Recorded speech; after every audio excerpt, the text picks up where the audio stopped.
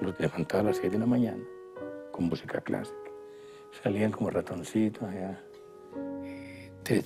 Niños, buenos estudiantes, con salud.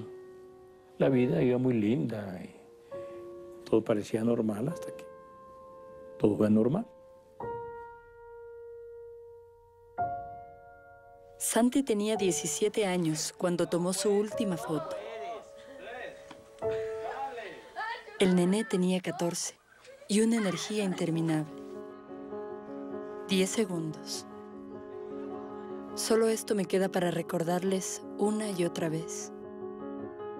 Yo tenía 10 años cuando mis hermanos fueron desaparecidos por la policía ecuatoriana.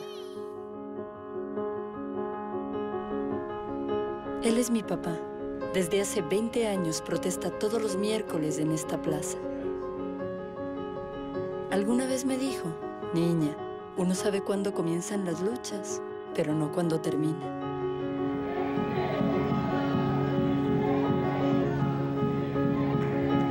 Yo jamás he mandado a dar una paliza, pero el día que se la mande a dar, no sale de ella. ¡Malditos asesinos,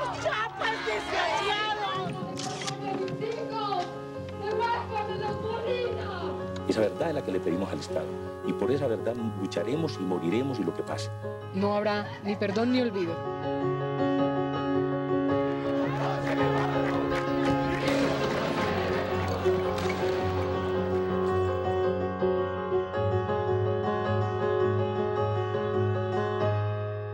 La única lucha que se pierde es la que se abandona.